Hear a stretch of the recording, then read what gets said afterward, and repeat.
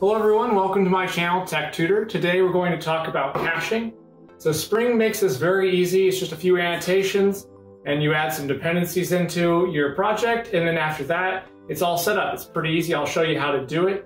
Now if you've never used caching before or you don't know what it is, basically think of it as something you want to use if you have really long uh, calls to a database or service uh, that data won't change very much, so basically you want to cache that response. So if you're looking up a record in the database and it takes like five seconds, you can cache it and it'll come back in less than a second.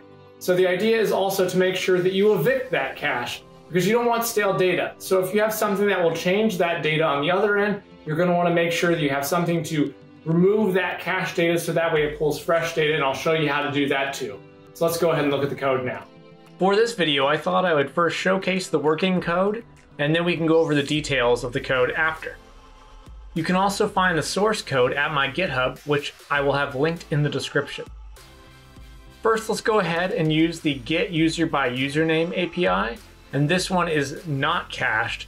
So when I click it, it's going to fetch the data from my service and I simulate a three second delay for both this API and the cached API.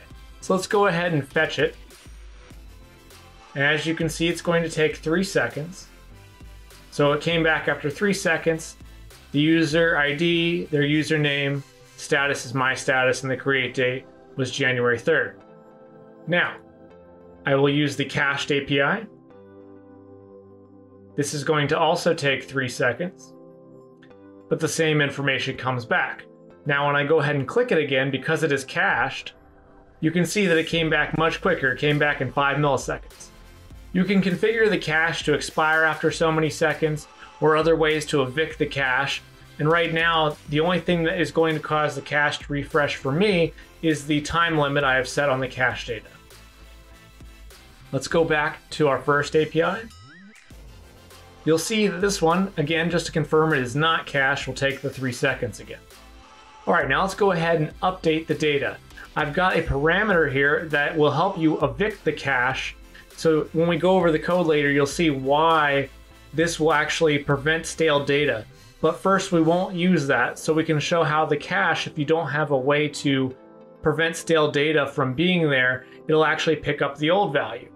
So we'll call this new status instead of my status, and I'll send that change. And now We'll go ahead and do the cached one first. You'll see it still says my status because it's cached. We'll use the other one that always fetches without any cache, and you'll see that it is new status. So let's go ahead use that update API one more time. This time let's use the parameter that I've set to evict the cache so that way it will pick up new changes. And we'll call this another status. We'll go ahead and send that. And now you can see that that is what the new status is.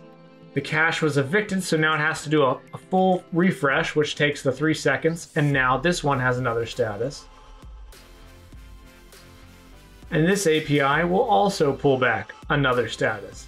And if we come back here, you can see that it still picks up that status very quickly because it is successfully cached. And just real quick, we'll do it one more time. We'll do one more new change just to confirm that we didn't time out our cache. So another new status. You'll see that the cache was evicted. And now I pulled up that another new status. And again, like I said, it's, it's cached. So now let's go ahead and go over to the code and I'll walk you through what I did to set this up. As you can see in my project, I have several different files over here. So the Docker Compose file that I have is what I'm using to spin up the database. If you'd like more information about how I did this, I have another video on Docker Compose and Postgres database, which I will link in the description, as well as another video about Flyway, which is what this file is for, so that way I can create my database table that I'm using.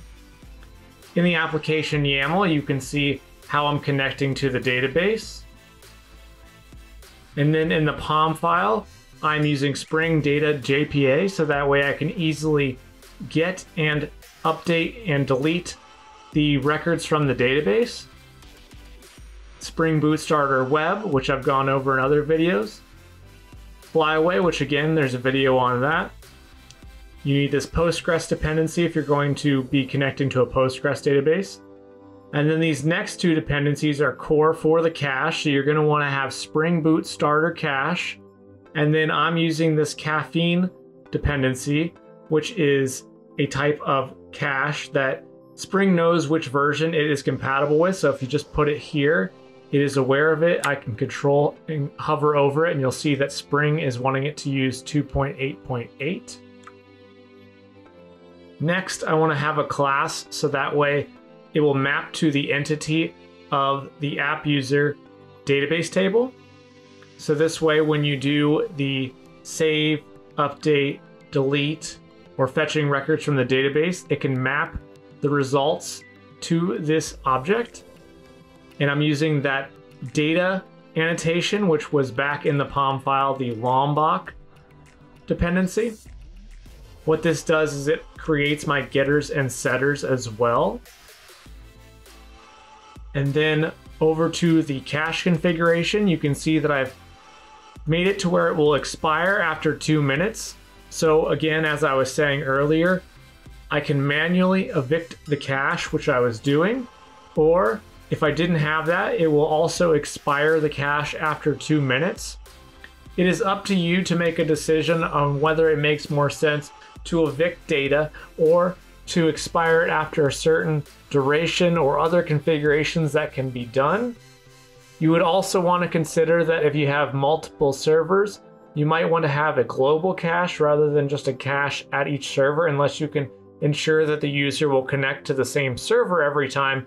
If they reconnect and they end up on a different server, they could end up having cache data on one server and not the other.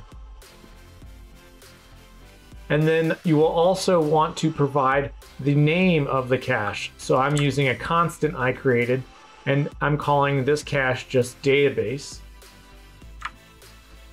Then in the controller, I've added some get mapping so that way we can fetch our user by username.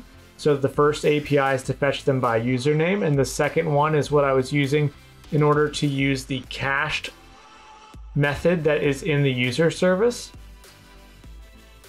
Next, I had an API that I was using to update the status with or without using the eviction that I had created in order to make sure the cache was evicted when I wanted it to be.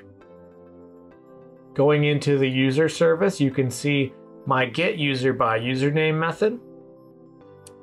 It is using Spring Data, and so as long as it finds a result, it will return the result. Otherwise, it will throw an exception where it will say 404 not found.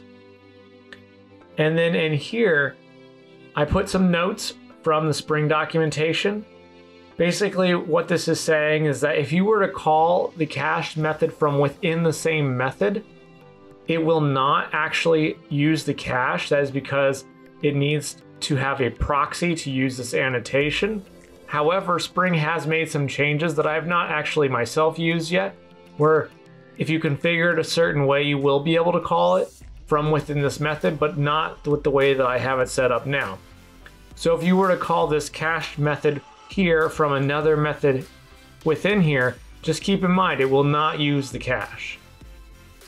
And so how it's using the cache is with this cacheable annotation. And I need to inform it what is the name of the cache so it can match back up to this cache configuration so it knows that this cache bean, which again was noted by the cache name database, maps to this method. So what it will do is it will automatically cache based on the parameter passed in. You could configure other things to where you could change the key, but if you need something simple, for instance, where you know that you'll be getting a unique parameter into this method, like for me, I'm using username, I know it will be unique, I will get the intended result back that I will get only a cached result for some unique name. If the members passing into the method are not going to be unique, you probably wouldn't want to do this way and you'd want to do additional configuration. I have a method for saving a new user, which I use but not in this video. You can optionally use this to add new users, but again, this was just to showcase a quick usage of the cache. Now, another method here is to update the user status. This is what was being used to update the user status without evicting the cache. And then this one is actually evicting the cache because of this cache evict annotation. Again, you need to inform it the name of the database cache that you are trying to evict.